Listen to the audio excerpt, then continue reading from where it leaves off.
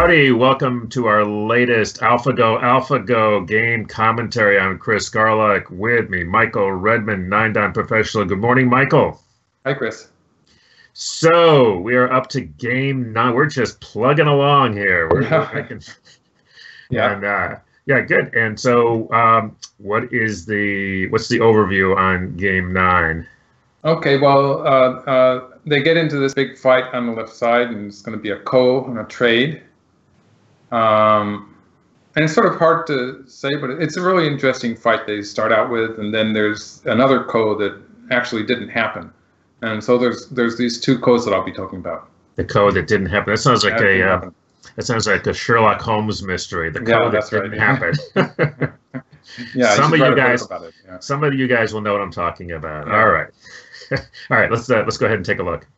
Okay. Um, well, this is actually a, a bit unusual, um, but the same opening has happened with the black stones in slightly different points. Like the, right. the left side position is actually fairly common in this series. Um, and then I can talk about this variation that Fan Hui was showing in a video. Um, this is what black plans to do next. And um, I might have said this before, but this is actually something that Go Seigen was showing us at the Go Seigen study group, mm-hmm, mm-hmm. and it's it's almost exactly the same variation. We talked about um, this in Game Six, I think, right? I think it was Game Six. Yes. Yeah. Uh, same position. Uh, mm-hmm. If we're looking at the left side alone, mm-hmm. um, and so it's um, it sort of shows that Go Seigen and AlphaGo agree as to what black should do here. Um, so it's a question of if you believe in AlphaGo, then uh, you're saying Go Seigen was a great player because he has the same idea. Or if you believe in Go Seigen, then you then you're um, then it means AlphaGo is good, right? I I subscribe so, to both one of those the actually. Other. Yeah, yeah. and so again, we see that Black does not play the Joseki move, and AlphaGo doesn't do that. It just doesn't um, like to play that extension. And white plays a pincer here. You can see I've marked up the go board a little bit. Sure. Um, this is the only game where white plays this pincer on the left side, in this left side position. Mm. Um, white plays a pincer at B in a couple of games. I uh, I forget the exact count. Or white mm-hmm. plays the um, plays at A. Um, but it, this is this wide pincer is a bit unusual. But of course, it, if we include the position of the right side stones, the corner stones that black has on the right side, it is a unique position among the 50, 55 games. So maybe it has something to do with that. Mm-hmm. Um, I don't really understand the opening enough to say that that would make a difference, but some players have a feeling in some positions that it makes a difference. And it's, it's something we don't in the opening, we don't really know at this point. It's, we, we don't have anything. We have feelings maybe, or sometimes mm. our experience tells us something. So black plays the double kakari, and white plays this. Um, and black plays the attachment. Like this is AlphaGo's favorite move, you might say, in this mm-hmm. position. Um, and I've added a B and an A. Um, AlphaGo never plays the invasion in the 3-3 point at B um, with black. Um, and human players don't play it very much either now. Um, but um, it's a move that AlphaGo has never played that I've seen. Occasionally, black plays at A. And so, like, there's one or two games where it has played the shape where it plays at A. But uh, this attachment here is um, by far the most popular move for AlphaGo. And that's as much as I can say. I don't. It's it's it's really hard to evaluate which is the best move. Hmm. But it's the move that I like to play recently too, and I um, I just can't really say exactly why. Hmm. And then black plays here. Now this one space extension, it looks really natural in the context that black white has that marked uh, pincer already, so it seems a natural move. But actually, it's the move that AlphaGo will play quite often, even without a white stone on the on the side. And without that white white pincer stone, maybe black would be playing here anyway. Hmm. AlphaGo seems to like this one space extension that does put more uh, pressure on the white corner. Uh, so that's the value of this move. And then white plays here. Like this is a point where if white plays on the top, then black's going to be able to slide into the into the left side. And this is just a left side territory for black.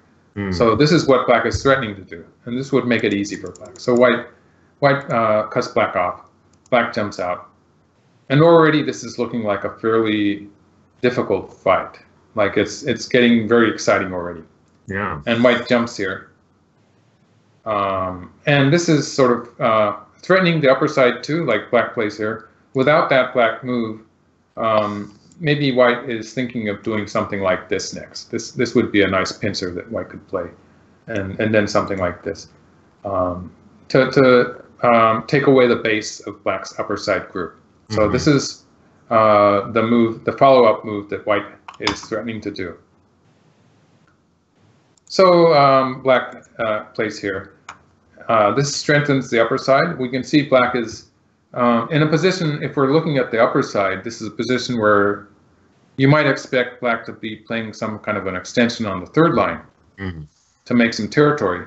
But instead, black plays uh, this um, this move, which is stronger in the fight towards the center. So the black is um, putting a lot of um, value into the fight in the center, and also, of course, is threatening to cut at the mark point. So right. uh, this is a point where my plan would usually be to try to strengthen that white corner group. Seems natural, right? So uh, I might be, yes, yeah, yes, yes. I would peep here. It seems a strange move, but I would peep here and maybe jump once here. This is a hmm. bit of a bit of greed, but I want it, it adds profit for me on the left side, and then I would play here. So the peep here and pulling back here is the combination that I would want to play with white. Um, and it, it's I, I, want to play it because it gives white life in the upper left corner. This is a live group now. And so that's why I would want to play this way. It's mm -hmm, pretty much mm -hmm. alive. Um, but white doesn't do that. Um, white plays here.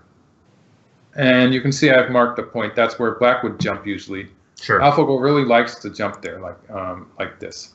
Um, not maybe not right now, but you know, this is a move that AlphaGo likes to play. So white plays here to stop black from doing that. And then black peeps here. So we can see this peep uh, is working well with uh, the Narabi here. And these two moves are kind of a set. Um, black played that move on the fourth line to make it easy to peep here. And again, with white, I would want to protect the upper left corner, right? Mm -hmm. Seems natural. So white should play here maybe, and black will answer and then white can jump again. And um, white's not really connected there, but um, at the very least, it's going to be difficult for black to kill the whole group. Mm -hmm. um, and black is not alive yet either, so um, it, it, looks like white can still handle this. And uh, the left side is gradually turning into white's territory, or mm -hmm. well, not really, but it's white's at least surrounding black, so it's going to be a tight spot for black there. So this is how I would play with white. Um, but AlphaGo just ignores it. Like this is a, um, it's just leaving the upper left corner and saying that um, if black plays something from the outside, white can just play at the mark point, and that's pretty much a live group. Like black might be, be able to make a ko out of it, but um, white's gradually sort of treating that upper left corner as a light group and saying it's not as big as the left side. Wow, wow. And yeah, so this is sort of surprising. And then there's this move. Now this move really, it, uh, I really like this move. It's a very strange looking move that works in this position. And the idea is that black, um, it's really hard. Black couldn't really play at the mark point yet. That would be a bit premature. Um, so it's the question of how to attack this white group mm -hmm. is a difficult question for black. And so black starts from the other side, um, sort of asking white to decide what to do here. Like if white plays something like this, this would give white a good shape um, towards the center. But then, of course, black would be able to make some extra eye space. Mm -hmm. And then it would black would be free to play on the second line because this would be a living shape for black. Um, so black wouldn't have to worry about getting out in the center and would be able to just take away white's eye shape. Hmm. Um, living at the same time. And that that would be a lot of trouble for the white group. And we can see that white's probably going to get the lower left area, but it's going to be on a relatively small scale. Mm-hmm, so this mm-hmm. is black's one of black's plans. So white doesn't allow that. Um, so sort of black is with this move, black is sort of uh, teasing white a little bit and asking white to, to play this aggressive move, with which black is going to use this move to settle the shape in the upper left area. And starting a ko here. Now a ko this early in the game, um, there's a saying that the early ko doesn't have a ko threat for it. Mm-hmm. And it's true of this. Black doesn't have a very good any good threats for this ko. But the point is that that marked stone there, the stone on the third line, is not completely wasted. Like um, for a stone that has started a ko, um, it's well away from the ko that's happening. Like it's not as if um, it's going to disappear from the board when white wins the ko. Mm-hmm, so mm-hmm. it's actually um, there's some use in having a black stone there because it's giving potential to the left side group to live. Um, so it's a very clever way for black to start the ko, having that stone at a safe distance, you might say. Mm-hmm. And so we end up with this trade. Um, and that mark stone is still, like if black plays another move on the left side, it's going to live. Right. Um, if white plays another move on the left side, it sort of depends on various factors. That was going to be my next question. It's, it's not it's not uh, unquestionably dead, right? It's a well, in in the game sequence, we're going to see it die. Okay. But the game in the game sequence, white is sacrificing the corner. So we'll look at that one first. Like in this sequence, it turns out uh, okay. it's, was... it's probably a bit wide open for people to understand, but it turns out this is going to be dead. Good. Good. Yeah. That was that was just uh, my sort of my instinctive move was that, that seems like the shape move right there. This is the shape move. Yes. Yeah. Um, the question is, uh, what if white tries to live in the corner? Ooh. And we have this kind of thing. Uh, white needs another move to live in the corner, and then black. black breaks out into the center. Right. Right. Um, and all sorts of variations could start from this. I could fill fill the. I didn't do it though. Um, but you, actually, the white group on the left side is not very strong, and so this would be troublesome for white. I just want to say something about your variations, which everybody knows who's been looking at the SGF. But Michael's variations have variations, and sometimes Michael's variations within variations also have variations. I so, get carried away. Well, actually, I, I didn't say that. I didn't say that. I'm the just, I'm just, so complicated. I'm just, I need just, to do that. Yeah. I'm just telling people, you know, be on the lookout because yeah, there yeah. are there's there's one I was working on yesterday. I think it's in oh, it's in game six where you have a 76 move sub variation or 78. I think it's a 78 move sub variation. And I thought late in the game. I thought I made a mistake. I thought I was in the main in the main line, and then I realized no, this is. so anyway, back back to this game. Okay, actually, there's a little uh, hidden Tsumego problem here. Ooh, um, because I added a move to the corner. Um, there's the question of what what happens if white plays away. Oh, so that is a question. Um, and oh, actually, so. even just looking at the left side group here, when white doesn't have that captured stone, as in in this shape, mm. uh, there's a difference there. So in this shape, I'm pretty sure that eventually the the black group is going to die. Okay. I'm not so sure about this one. Hmm. And uh, this is just so full of various bad aji. Uh, like for instance, when black does something like this, there's bad yeah. Yeah, yeah, yeah. Some extra forcing moves there. Um, I wouldn't call this a, even a Tsumego problem. It's it, it's just to it depends on how black might potentially break out into the center and some of the variations and stuff wow. like that.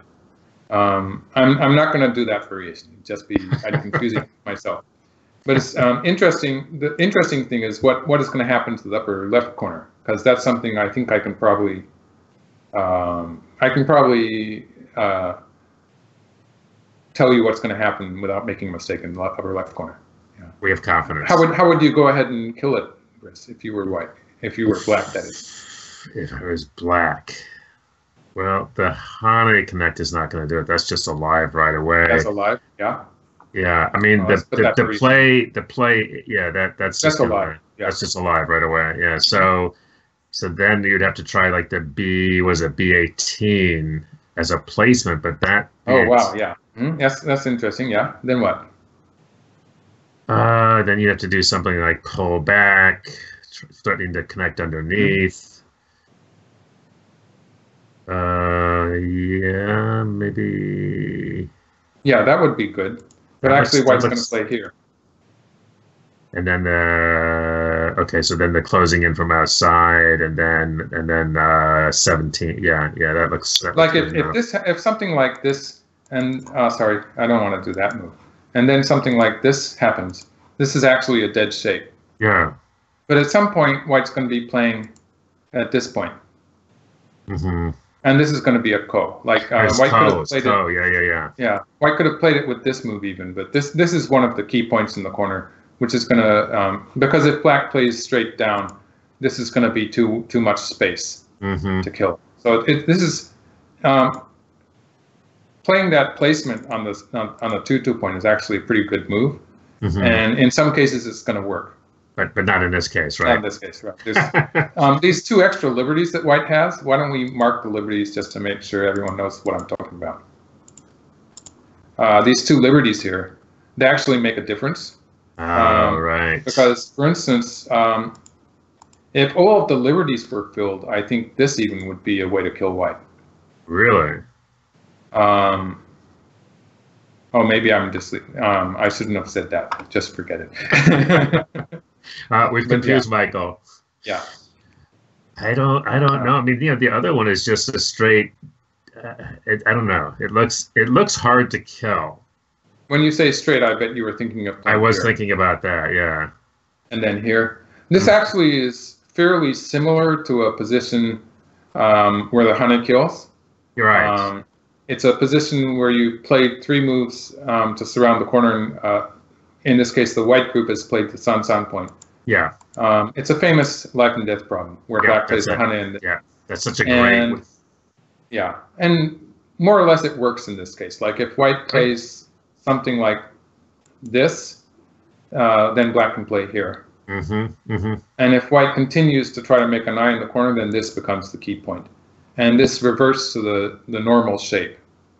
Um, and if Show, white show, plays show, here, show people. Show. No, no, go back. Go it, back and show I'll folks that because that's pretty cool, actually. and this is- when this white is- plays here, then black can throw in here. Yeah. And uh, this makes it a false eye. yeah. Um, and again, um, even if this stone, for instance, if white plays it here, again, this becomes the key point. Yeah. Um, because white cannot play here because it will be in a turn. Yeah. So this is something that actually you can find a position just like this in uh, the Joseki Mm-hmm. and Tsumego books, Life and Death books. It's a classic. This, this a is the key point for white too, um, actually. And this is where it differs from that shape, actually. Mm-hmm. Um, because if black plays here, white can play a ko like this. This would make a Right. ko. right. Uh, but act- in actual play, black would be able to play here. And let's see, if white plays here, black plays here, white plays here, this is a seki. Seki. So that's good for white, only too black good. gets Yeah. to play here first. And this becomes a dead shape. Because Okay. white, um, Yeah, yeah, yeah. because that's right. essentially white's going to be playing here at some Right, point. So it's just a, a three stone nakade. And so when going back to this point, in order to get a seki, white this becomes a key point also. But uh, black gets to play here, Mm-hmm. and if white takes, then black's going to play here. Oh, that's that's that's a nakade. that's cool. And but So if white plays yeah. the, the corner, then black disconnects. Now this is another three stone nakade. Yeah. Um, so just to go, I haven't even gotten to the correct variation yet. uh, because actually, white can make a bit of a ko by playing here and then here. So this would be a ko, uh-huh. but it would be.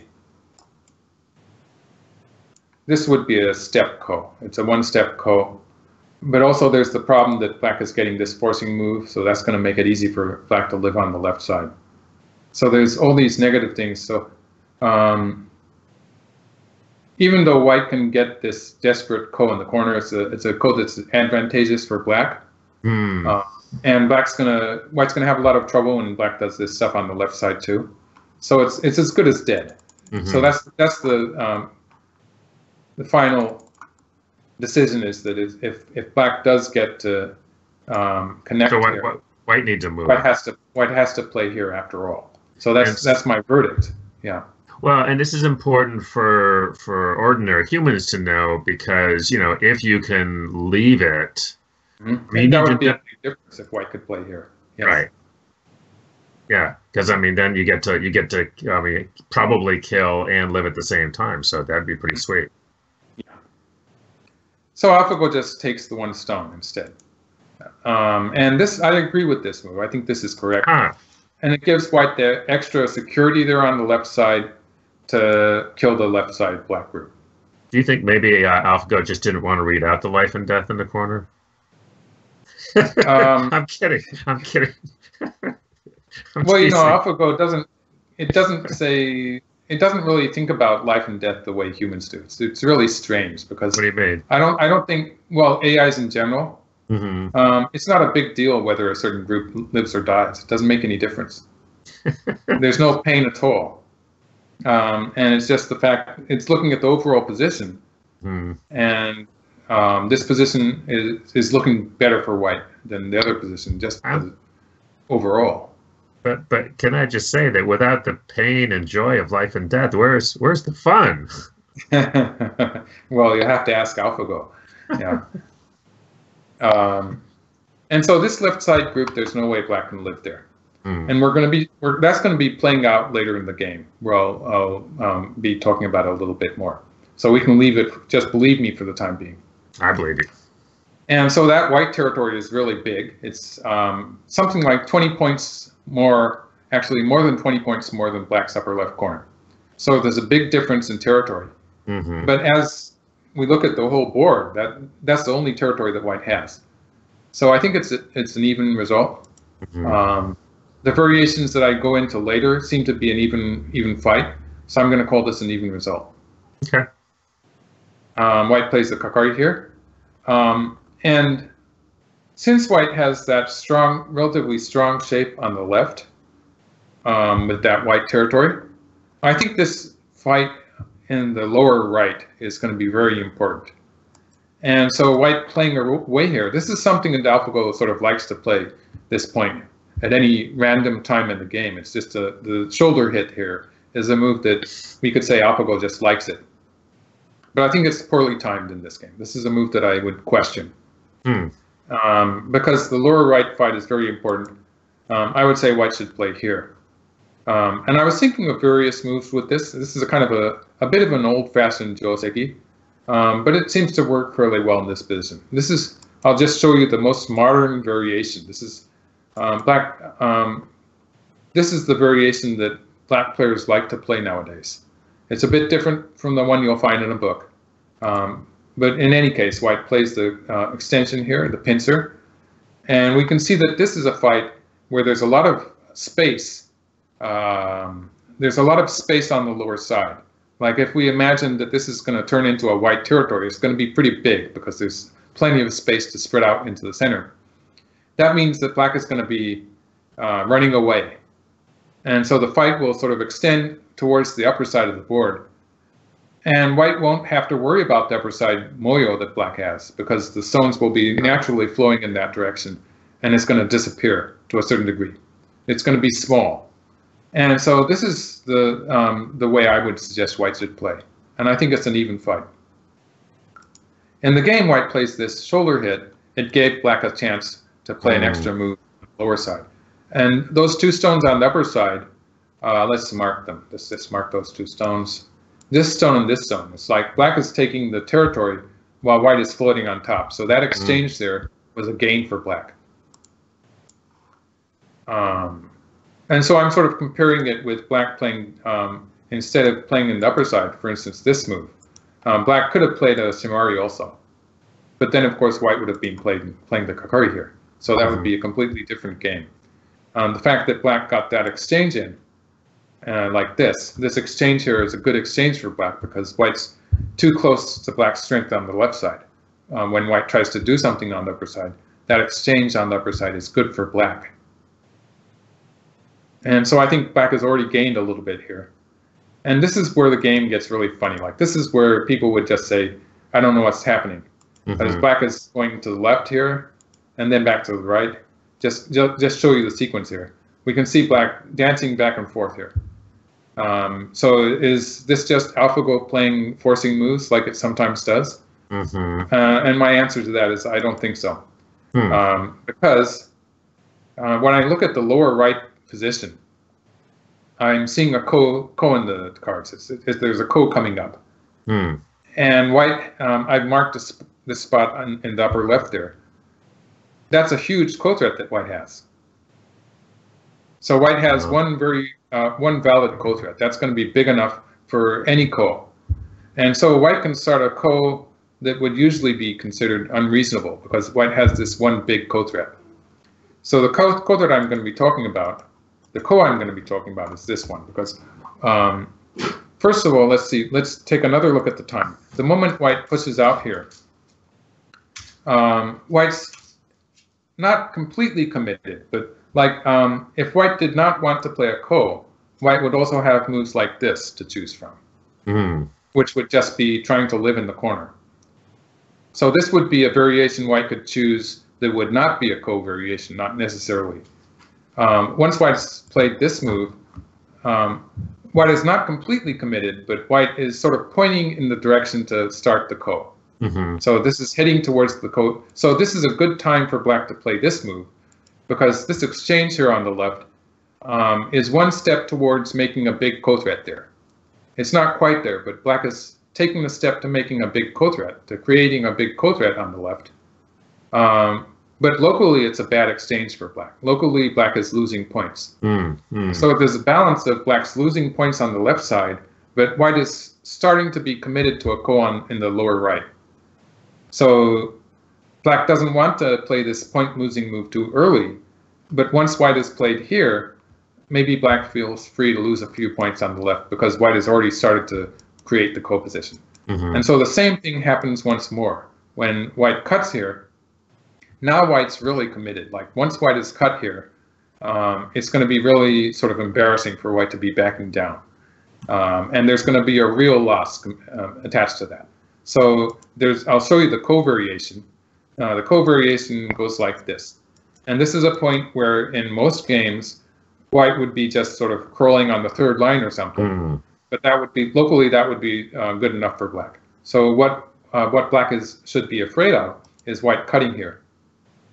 And this is obviously unreasonable usually because it would be a, a, perfect example of the case where an early ko has no ko threat for it. Sure. This is a huge ko, but actually the ko threat is huger because uh, this is something like if white gets to play the follow-up move, pushing through, taking those black stones, uh, and getting rid of that big black territory in the corner.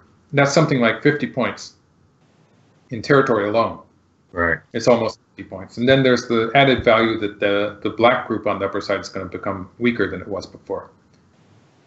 And so there's a huge value there. Black has to answer it. And black runs out of ko threats. Wow, right away. at this, in this position on the left, black's ko threat is not quite big enough. So black would be forced to connect. And locally, this is going to be a win for white. Mm. So this is what white is planning to do. And we can see that white is getting closer and closer to it. Like with this, um, with this move, white is taking one step in that direction. And then with this move, white is more or less committed to do that mm-hmm, mm-hmm. Uh, as far as the local moves are concerned. And so uh, this is when black, um, instead of playing this move, which would lead to that ko that black could not win, black plays another cut. And this is another point losing move. This is losing some more points on the left, but it's okay because white is already committed to the ko. So white plays here, and then black pulls back. So if white starts the ko, um, then black is going to have to answer that ko threat, but now black has this ko threat. And it's going to be this kind of a trade. Hmm. And although there's a hole there, that black group is actually connected. Like if white does something like this, and black can just play here and play the attachment, so that's good enough. That's nice. Um, and so this is this is already actually it's a bit better for black. It's a, it's a huge loss on the lower side, but we can see that whole white territory there has disappeared. Right. So this is um, a slight advantage for black. So black had to get this far on the left side to have this advantage. Like um, anything less than this Ponnuki uh, would not be a good enough threat for black. This Ponnuki is barely enough to balance white's gain in the lower right. Mm. And I think it's slight, uh, slightly good for black, actually. And so there was a very delicate uh, give and take here, as black is playing these moves on the left that are locally losing a lot of points. Um, it's really hard to give a, an exact value there. Um, but black is losing something on the left side, uh, but timing it perfectly uh, so that white is making bad moves in the lower right at the same time. So they're, they're going back and forth. Just I'll just show you that uh, that set of moves once more. Because it's really really funny to see the players jumping back and forth like that. When like white white starts here and then black plays on the left and it's as if they're sort of playing some different game. Uh, but it, there's uh, actually a, a, a, good meaning to that and uh, so white cannot play the ko and white doesn't have any other good choices at this point in the lower right. It's it, white's already so committed to the ko position. White doesn't have any other good local move. So white back uh, instead of playing the ko, white just takes the ponnuki. So wow. white's gained a lot on the left, and black has gained a lot in the lower right. And I would say it, it's at this point that black took the lead, mm -hmm. uh, mm-hmm. because um, although both of these positions um, are very nice positions for both sides. Like black played two bad moves with A and B, and white played two bad moves with C and D. Uh, but white's profit is in a place where white already had territory. So white already had a position there on the left. It was already fairly well established. Whereas black is getting all this thickness and territory in a, in a place where, which was completely undecided. It was an empty space. It was um, no one's land yet. Well, and so this turned into a big profit for black. Yeah, I mean, uh, just a little while ago, you're talking about the big. I mean, coming out of the opening, that you know when you were evaluating it, and white only had the one territory, and this is farther on, and white still only has one territory. It only has one territory. It's, it's beautiful thickness. It is, but it's yeah. sort of over concentrated, you might say. Too much thickness in one place. Yeah. Um, so now I think the game is good for black. And I think the way Black handles the rest of the game sort of um, agrees with what I'm saying, because now Black is going to start to look like the master version. When it mm. was hmm. playing against all those humans and mm-hmm. usually had a fairly solid lead mm-hmm. uh, fairly well into the game, like where it moved 57. Usually in the Master series at this point, Master was uh, game, game was over. Game was over as far as Master was concerned, and it was um, it was being very um, easy on the opponent in the fights. Like it was playing safe variations, just mm. avoiding mm. complicated variations. And I think partly that was because of the time control, maybe. Um, mm. It's a longer time control for, for AlphaGo in these games, so it has more time to think about variations. Um, but it's, was also the fact that Black had enough um, control of the game to be able to play relatively easy variations and still win the game. And so at this point, we can already see that black white is sort of is going to be very busy here because white has to uh, reduce the right side as well as the upper side. So white covers once here to reduce the upper side and then jumps in here. So really jumping around the board. Um, like just playing normally like this would uh, make the right side a, a, lot less room for white to jump into. Mm -hmm. uh, so something like this might happen. And this would lead to a double attack. Sure. Um, it would actually be more dangerous for white.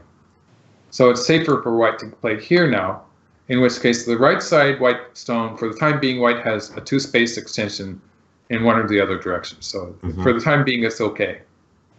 Um, and so all white has to worry about is the upper side group. So I agree with this move. Mm-hmm. Uh, it's a very sharp move. And then black plays from the side. We can see already black is um, avoiding the danger of just surrounding white and having white live on the side, taking away all the territory, like sort of trying to take some territory while attacking white. White plays an attachment on the top. And now black plays the key point. This is a, a vital point. They say you play the hane on the top of two stones.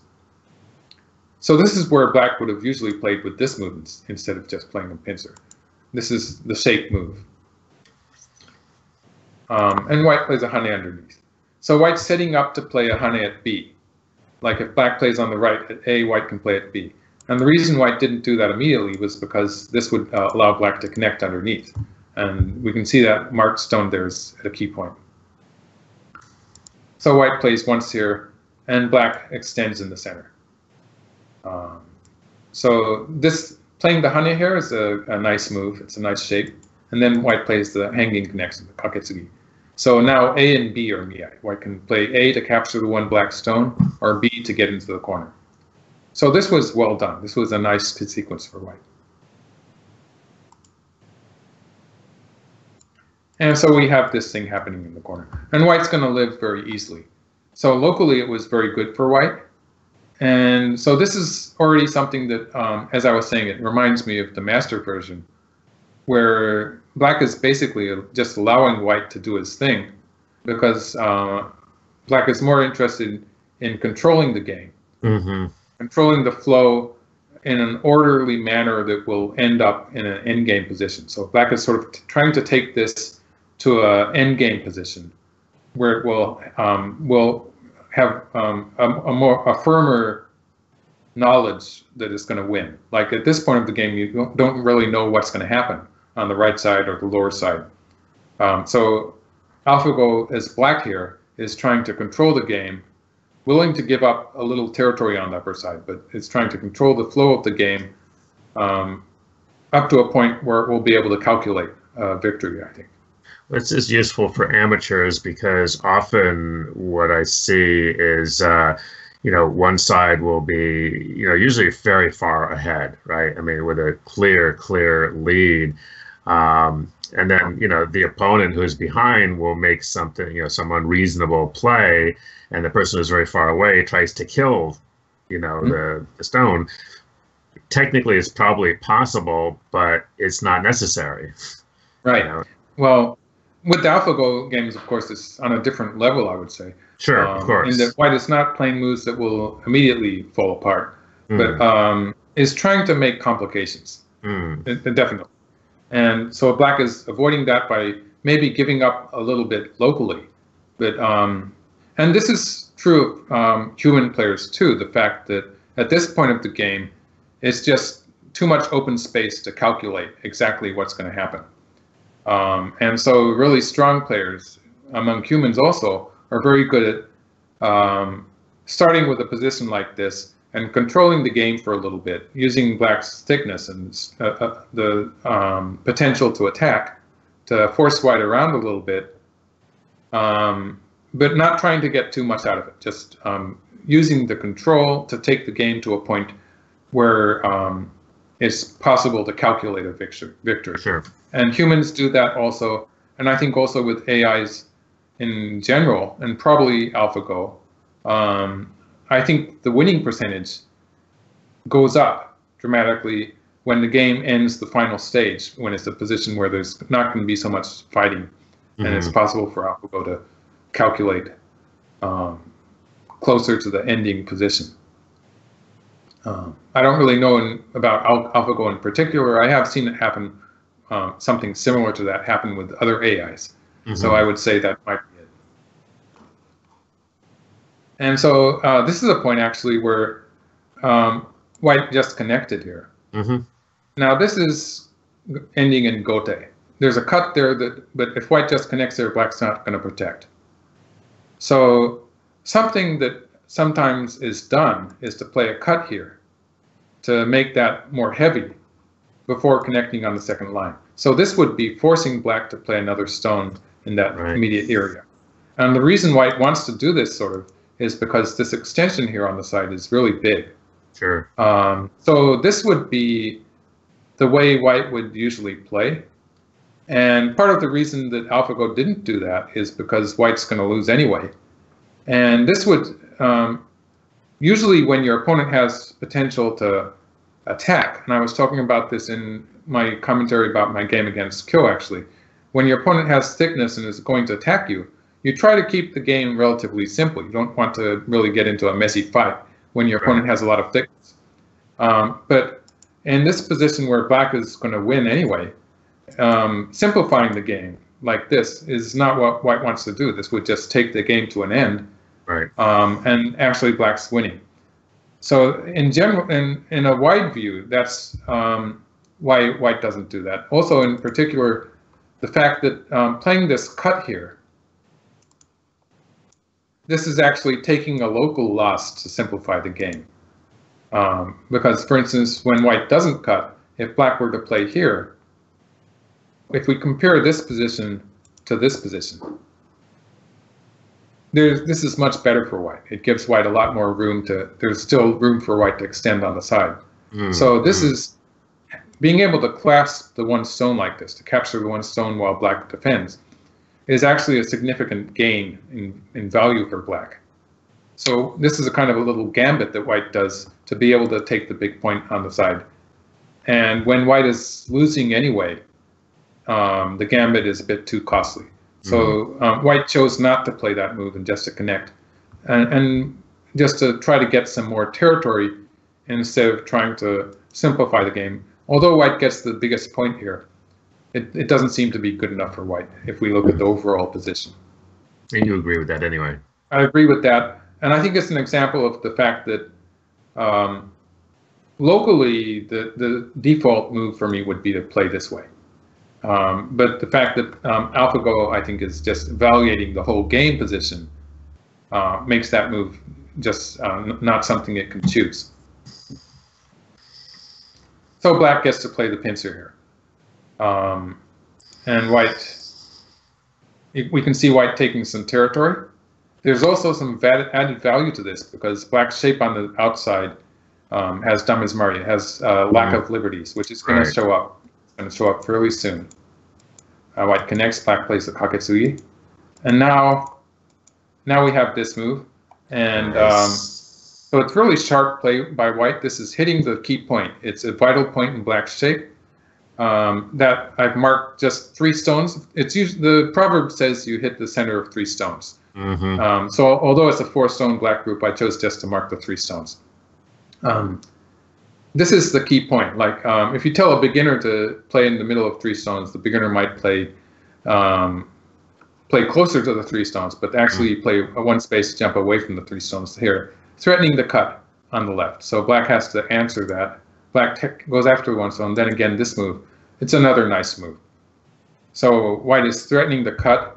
Of course, if black cuts here, white's going to capture in the ladder. So this is out of the question. So black is putting pressure on black's wool. And the beauty of this is I think it was planned from the cut, the marked cut on the third line, white was setting this up. And the fact that white was uh, setting up this Damezumari with the cut on the third line uh, sort of indicates that maybe white was uh, not only setting up with this move, maybe white was setting it up with this move. Mm-hmm. Because white knows that black's not going to answer locally. So all of these moves are sort of intertwined um, and culminating in this Tesuji that white uses. So this is a very nice sequence where white is, you could say white is sort of planning for it.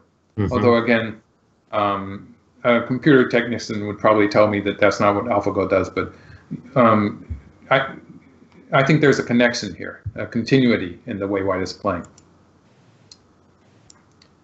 And so um, again, black. This is another move. These moves in the center um, are one of AlphaGo's strong points. I would say it's, a. Um, this is an area where playing a, a move like this in the center is a move that quite often a human player is not very sure of um, how it's going to work or how it's supposed to be used. But AlphaGo is in general very good at using moves like this in the center. Mm. And black's going to use this to put pressure on white's group, like people would be tend would tend to sort of want to take the one stone, but that would give white a lot more room in the center. And actually, it would give white some potential to start surrounding territory in the center later because white has this big thickness on the left. And so um, this is a part of the game where um, you could sort of just over overlook this move, but actually I find moves like this in the center that AlphaGo plays are moves that um, I can learn a lot from. Because mm. it's just because the center is so hard for humans to to um, figure out. It's a it's a point where we don't really know where to play in the center sometimes. But once so, you see that move, it just it is beautiful. It, it really it just really makes yeah. sense. And white plays here, and white's starting to make eyes on the side. So that that's the reason for this move. Like white plays here and then takes the one stone. White could have taken the one stone immediately with this move, but then black would be playing on the on the side here, and white wouldn't get any eyes. So that's why white starts with the peep. So white's starting to make some eyes there. Black still uh, closes white in in the center. And then black starts doing stuff on the left side. And so you, you might say, oh, um, again, AlphaGo likes to play forcing moves. So maybe this is what AlphaGo is doing.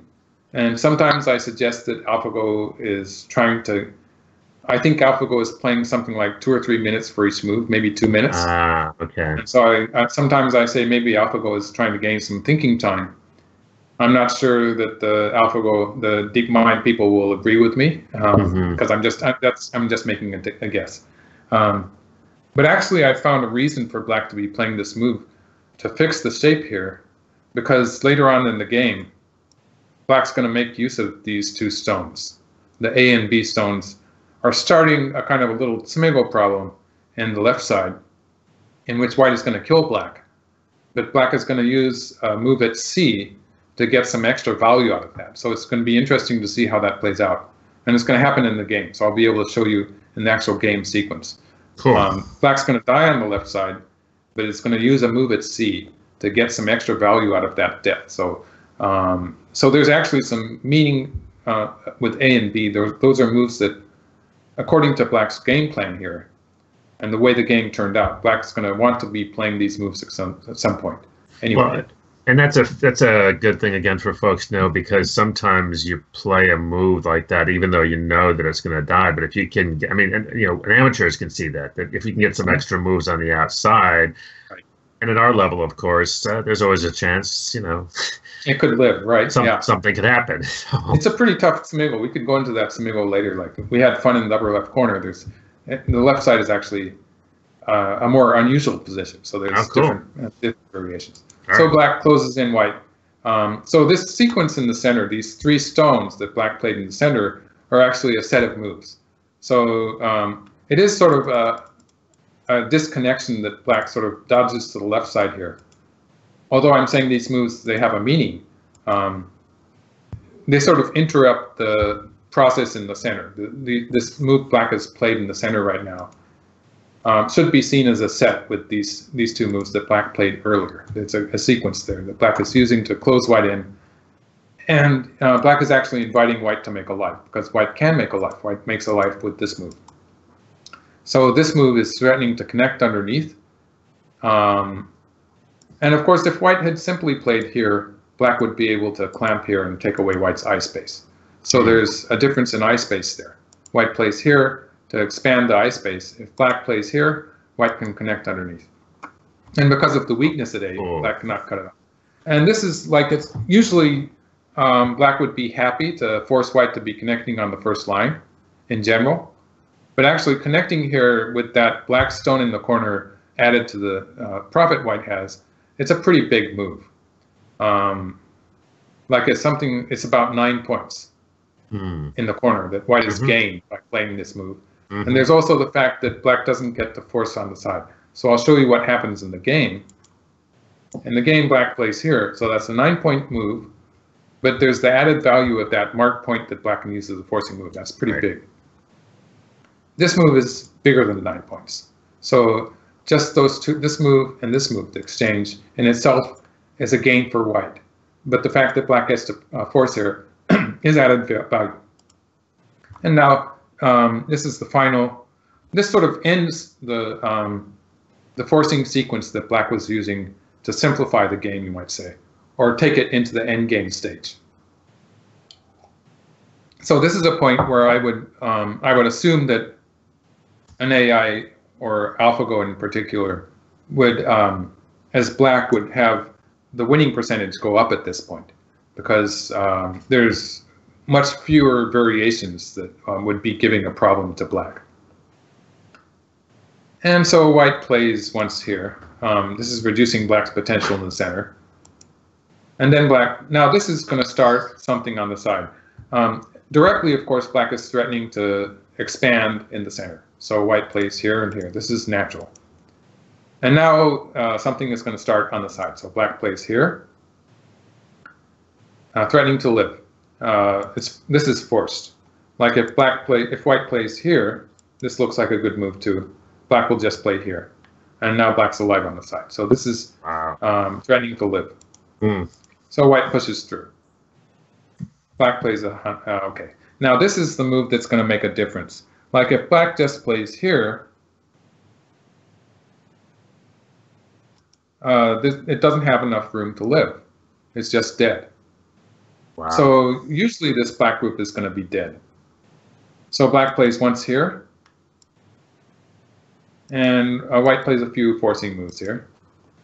Now if white connects here,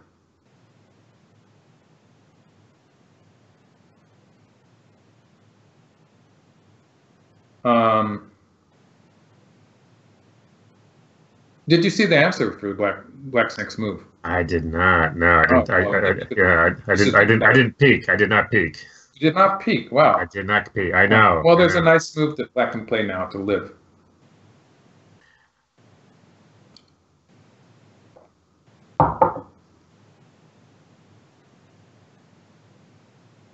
Feel like it must be some. I mean, just connecting obviously is, is not good enough. To get the false side, it's got to be one of those uh, those those first line tricky moves, tricksy moves. And I can't quite see the coordinates, but uh, is it was it a eight or something goofy like that? That's it. No um, way! Seriously. So white takes the stone, black plays it. You can see that this marks. stone. Oh, oh, yeah, oh, oh! That's so cool. And Babs, Babs says he knew it too. Which well, Babs right, is yeah. five, but well, Babs is like eyes. ten dan amateur or something. I forget. Mm-hmm. So. All right. Woo. And so that that's a, a Tesuji there, and we can see the marked stone there is making a difference. That it's, is it's so making, cool. It's, it's, making a big difference when this happens, and black has an eye there. Mm. Um, so this is actually, um, it's really interesting if white plays here, and for a moment it looks like it's going to die. But of Uh-oh. course you can handle that, right? uh, the idea here is that if black plays here and white plays here, and black does the same thing next, this time it's going to be an Atari. Right, right, right. Mm-hmm. So yeah, the descent obviously doesn't work. Uh, Yeah, I need I need I need to call a friend on this one. Well, actually, Black can um, let's see, Black can just uh, play here, and it's going to be okay. Oh, so yeah, that works. This is one of these things, though, like in a regular game with time, would just be so annoying. Yeah. Yeah, because you'd be so burning yeah, up precious minutes reading reading this out. And, yeah, and, you'd have you'd have to have some time left over. And, and black and, and white has to be right and all black has to do is you know get it. Well yeah so this is actually for, threatening to live um, because of that variation yeah yeah yeah. we were just doing. And it's also threatening to cut white off and kill the white stones on the side. So and, can, can white just tanuki and, and play? So this is a clever move because if white really needs to uh-huh. protect that side group but right, then right. black would be able to live so white plays here. So this is killing the black group uh, while making a potential to live on the white side. On side oh, that is very clever. That's clever. And now white comes here. And now we can see that that stone that black played is actually black's filled his own liberty, so it's not really working well. Um, so black quarrels once. So like if black plays here, white's going to squeeze. So this would be really efficient for white. This would be making a life at the same time as killing black. That's very clever. So black plays here. Even though black's going to die, it's important to play here to um, keep white from making the squeeze. So white kills with this stone, and black gets a life. I mean, black gets an eye, but only only one eye. So finally, all of that was so that black could cut here. So black cuts here, and white has to live on the side. And White's being very clever and playing all the all the endgame moves first. Right, right, right. And uh, this is possible because black stones are actually in Damezumari. Yeah. So black doesn't have uh, any option but to connect here, and then white lives. So that settled the whole fight. So black's played all those stones inside white's territory. Um, and what black gets out of it is this move, because this is threatening a snapback. And so that's a one move difference in the center. That's a big difference that black is. It's a big gain for black because black can push through later. How many moves? How many was it? Like twenty some moves just to get. That? It was about move? thirty moves just to get that one. Jeez! Yeah. Wow! And so that was a pretty amazing sequence. Yes, it is. And now black plays here. That's a. This is a, a nasty move too. Um, but wait, there's more. yeah, it, black wasn't satisfied. It's like me in my game. I was sort of happy about the opening and I slacked up a bit, but you know, um, AlphaGo doesn't give up anything to the end. Wow. Now the meaning of this move is black is uh, black, white is already alive on the side. so black is asking white a question here. Obviously, there's immediate threat. Like if black gets to, if white plays away, and black gets to cut here, black's going to be able to take away white's eye space. Black's going to be able to reduce white to one eye with Sente. Mm -hmm. So that would be just a, a bust for white. That would, white would, white's group would die. Right, right, right. So um, it's an immediate threat. And against this move, white has to decide now um, whether to make two eyes, or um, which would give black a, a, bit of profit, or to um, refuse to give black the profit, but then white would not have a completely alive group. White Tough has to make choice. choice. Tough choice. Like Wow. if black had played here, black would have potential to kill white, but that would be Miai with white running out into the center. Sure. But the fact that black plays here means that black has this sequence here that can take to reduce it to one eye with Sente, and then kill it. So there's immediate threat here, Mhm. and white has to decide now whether to um, white played turned. Uh, I might as well show it one move at a time. White uh, played out here. White still has to decide um, how to capture that marked black stone. Mm. So if white plays here, it's going to be alive, Mm-hmm, mm-hmm. and all black gets is this one hane. Like it's a it's a um, one or two points difference, Right. and then black's going to play here, um, but black has a win, winning position. So white's not going to give up that one or two points. It's just a tiny um, a tiny loss. It's probably the correct move. Yeah, but can't white's afford. just He not can't give afford it. Um, well, the game is not going to be so great either, but you know, White's just not being stubborn, you might say. Yeah, it's AlphaGo being stubborn. There you. There you go. Yeah. Ascribing human emotions to AlphaGo. Guess. Yep. And so later, Black can play at the mark point and kill White. So Black plays here, and this isn't the best move. It's not the optimal move. Um, I think it's the case that um, Black has a number of winning variations to choose from. So, like where I would play is I would play that mark point like this. Oh, sorry, I made a mistake there. Black will play like this. And uh, the value of this move is that it takes away White's eye space. mm-hmm. Um, in the game, White had some eye space there in the center. Mm-hmm. So this would be forcing White to play uh, a move like this on the side to make a life. So this would be Sente for Black.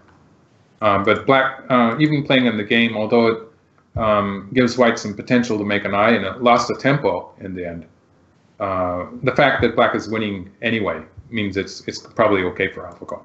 Wow. So White plays like this. You can see White's starting to make an eye. It's not completely an eye yet, Mm-hmm. Mm-hmm. and so uh, White's doing some fancy stuff here. I've been wondering about that. Uh, it's, it's just not it's not going to work. Um, and and finally, when White cuts here, Oh, I see. I see. now White's established a potential eye at the mark point. So if Black kills White on the right side, White's going to make an eye at the mark point by adding a stone. to that. So uh, part of what White was trying to do is to get this cut in because that um, that makes the difference to have that eye in the center. And then Black squeezes. So when Black squeezes like this, White doesn't have any potential to live on the side. So the side group is dead, but White gets to push through here. Um, and another nasty move that White found, because if Black is careless, then the corner is going to come to life. Like if White, if Black plays something like that, White can play an Atari here, and Black doesn't know what to do because like if Black plays this way, White's going to live in the corner. But if Black doesn't do that, Sneaky, sneaky, sneaky. If Black plays this way, White's going to break. descend. Right. That's that's a disaster. That's a going to a pull anyway, disaster. yeah. Yeah, yeah, yeah. Um, So wow. this is dangerous for black. Black has to be very careful. Um, in the game, black connects there. Now that's so black is actually um, being forced to back down a little bit. Um, white has pushed black around a little bit and reduced the lower right corner territory by uh, a couple of points maybe. Mm-hmm. With that added value, that white made that that eye in the center, the potential either, which means that white's alive on the side now. Mm-hmm. So white gets Sente to return to the center here, which is a really important point. If black had pushed through there, it would have been very difficult for white to save those two stones. So black plays the final big point. Um, and so you, you, can see that white is very cleverly dealing with all mm-hmm. these weaknesses that white has, but it's just not good enough. Like black's more than 10 points ahead yeah. on the board. And yeah, this is a big move. Um, it changes how the right side situation will um, play out. So it's a big move that way. Um, but of course, this is a big move too. So these two points are interchangeable. They're miai. And white has to play here. Black plays away. This is again the final big side move. Um, so it's a it's a beautiful end game. That black's playing very solidly and not making any mistakes, obviously. And uh, again, um, this center position, if we just ignore what's happening immediately, playing here is a pretty big move for black because mm-hmm. that will establish a fairly big territory. So that sort of explains what this move is. Um, it looks sort of weird to be playing what looks almost like a fighting move in, in the final stages of the game. But actually what white is doing is white is reducing that potential black territory and at the same time is trying to put a little pressure on black in the center. So uh, black um, continues in the center here. And yeah, so this is uh, finally, this is the final big side move. It stops white's endgame sequence starting from the mark point. So this is establishing that side territory. And the game is getting gradually simpler. Um, just a few more points that I want to get into. It gets exciting in the end because uh, white does some weird stuff. Um, this is where white starts to throw away points. Like at this point, um, black's already um, more than 10 points ahead on the board before Komi, that is. Mm-hmm. So um, black's going to win easily, and it's not going to be one of those half point games. Wow. So white starts to do some crazy stuff. White's trying to put some put black in Damezumari there, uh, but this is going to be a ko that white can't win in the corner. And what's more, um, the right side group is getting into trouble now. We're going to see that happen. So white, um, now black plays here. Now we can see white's, um, with that throw in on the first line, white has put himself into Damezumari. And if white connects now, white's not going to have eye shape. Yeah. So white gets really fancy now and found a way to live. So this is actually it's a um, beautiful sequence that White has vocally. Oh, that is very this. clever. Very clever. If Black covers here, White's going to be able to play on Atari to make a, uh-huh. an eye one. Uh-huh. Then White can just connect. Um, and I left it here, but actually, if Black um, Black can't connect on the side, so it's it's not going to work. Mm. If Black connects, White can actually. Um, of course, White can um, play Atari to capture the two stones but it's actually better for white to fill a liberty here, threatening to live in the corner. Ah. Oh, wow. Okay, yeah, we have a dog here. Yeah. Oh, there you go. Uh, my dog was teasing me, trying to get up and then changing his mind. So he's coming. Yeah, finally, in. I got it. Yeah. He's coming in for the. Uh, yeah. The, the dog. The dog tesuji. Right. Yeah. Uh, Bab, it's an exciting Bab, point in the game, Apple. Babs also, because if Black tries to kill this right, right, it's a double snapback. Exactly. It's a oh double my snapback. God. Sorry. Uh, that was a click miss. Uh, yeah, yeah, yeah. There, there, it is. There it is. Yeah. So um, this would be a complete disaster for Black, obviously. Yeah, um, but very cool. It's cool, yeah. So Black would be wouldn't be going this far, obviously um, but it just shows how this move is working really, really well. So black just takes the one stone. Um, and then, and so white's okay. Um, I'll show in a variation how that's working. Um, mm. Black goes back to the endgame moves. And takes the ko. Uh, this is where white resigns, actually. But it's not as if this white group is turned into a ko, because let's just add a, a different move to make a variation. And when black takes the ko, white can just connect. Hmm. And black can play here, white can uh, play here to crush the black stones.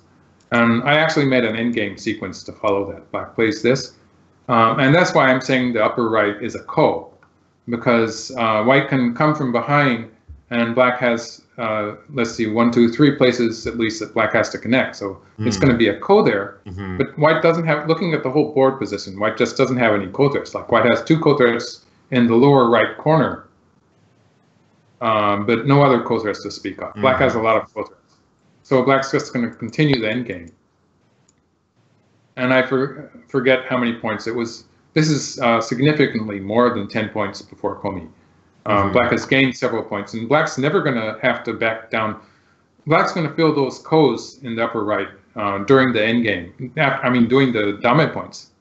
Black can wait to the final after playing the final one point move before protecting the upper right corner. Black has so mm-hmm. many ko threats. Black, like Black has something like three three ko threats in the lower right, lower left, sorry, lower left corner only.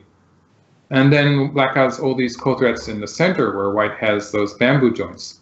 So there's ko threats like this and like this that black can use in the center too. So there's going to be a lot of black ko threats. You're saying um, that black, black, black was comfortably ahead basically since the um, the middle, late middle game, and you know, so it really was not a. I think your comment has been playing like Master when Master had a lead. Yes, just because in the AlphaGo AlphaGo series, usually the games are so much closer. Sure. Uh, the players don't really have so many opportunities to control the game and take a small loss to take it into the end game easily. Like that's a strategy that um, that's a technique that uh, top human players use and AlphaGo was using in the Master series to take some small local losses while controlling the game and just forcing a sequence into the end game. After which, um, I'm pretty sure that an AI would have the winning percentage move up after the game was simplified. Mm-hmm. Mm-hmm. Um, but in the AlphaGo AlphaGo series, it's very rare to see that happen because usually the games are much closer and difficult to win. Right. And so there's a lot more seesawing back and forth. Um, but yeah, this is an unusual game in which black actually had the opportunity to do that. And right. Even though white was AlphaGo too, it didn't. It couldn't um, get a reversal. It couldn't turn it around. It created some really interesting opportunities for itself, though, and and gave black. You know, I mean, black has to really watch its p's and q's. I mean, there's, there's right. Yeah, there was there was some dangerous positions there. Yes. So very, very cool. All right. So uh, another great analysis. Thank you. Uh, before we sign off, our next game is game 10. Um, and we should just say just a little bit about it because it's kind of a you, you, it's uh, you've been working on on game 10 for a while and can you talk about why yeah game 10 is an outstanding game even in this um, series of games in this series of AlphaGo self-played games um, for one thing, it's um, it's a very complicated game, and it was very challenging for me to try to understand. I, I finally decided that I have come to a point where I think I understand most of what's happening, but like it was keeping me up at night. It's a, it's a very if you're a serious Go player, this game is going to have an impact. Yeah. Um, yeah. So it's dangerous, maybe. Yeah. Uh-oh. Uh, yeah, but yeah, it's, it's going to be a very exciting game. Um, and one thing that's really outstanding about it is it, it's like it's um, you go through the whole sequence. Like there's all these uh, fascinating fights that it goes through, and everything um, finishes. And I, I am sort of breathing this big sigh of relief, and it's turning into an end game, and then everything falls apart. It's, it's sort of like someone came off came along with an axe and chopped up the go board because it gets really um, everything falls apart. Like all of those finished shapes that you thought were territories turn into um, life and death um, positions. Like there's um, in the very if you count all the variations I was making, there's something like eight groups that are living or dying, depending on how the players play it out. Oh my god! Yeah, I can and see why this was keeping you up at night. Those were groups that were supposed to be territories, just like um, just two or three moves before it all started happening. Wow. Okay, so well, so, really, yeah. something for folks to look forward to. Also, we should mention um, that after we do game 10, uh, we're going to take a look back um, at uh, some of your comments. We begin getting lots of comments. Uh, and uh, and try and answer some of those uh, some comments as well. Um, yes. So keep those comments coming. We appreciate them. We do read them. Uh, we don't always have time to, uh, in fact, we don't have time to respond to them in uh, online, but uh, we will try and pick out some of the really interesting ones uh, or the amusing ones or whatever Michael chooses. Uh, sure. and take take a look at those. So, all right. Thank you very much, Michael. Wonderful thank as you. always. Thank you all for watching, and we will see you next time.